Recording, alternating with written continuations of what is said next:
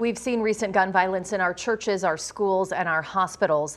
Healthcare workers in Nebraska say they are increasingly becoming the target of violence, and it has to stop before any more tragedies like the one in Tulsa occur. KETV NewsWatch 7's Andrew Ozaki has their plea to keep the hospital place for healing, not horror.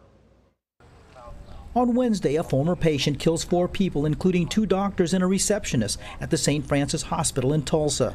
This was a horrifying tragedy that should not have happened at any hospital in America. But those who work in Nebraska hospitals say they see hostility and violence almost every day. It ranges from verbal abuse, physical aggression, to actual physical assault.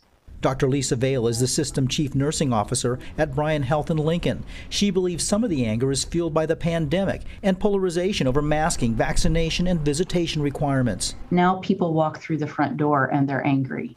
Um, we've actually had our volunteers at the front desk physically assaulted. She joined health professionals from across the state on this national day to end violence in hospitals. It's scary. It's scary seeing these things happen. Alex Wilkerson of Great Plains Health in North Platte says their hospital put in bulletproof doors and windows, and staff have a gray button they wear to call for added help. We recently in the ER had um, a, a, patient get tased twice by law enforcement. A nurse was assaulted. They say nationally, healthcare workers are five times more likely to face workplace violence. And we have to take a stance against it.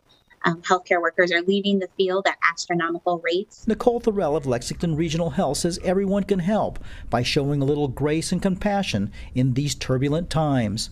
That's at home, that's at the gas station, that's at the grocery store. Andrew Ozaki, KETV, NewsWatch 7.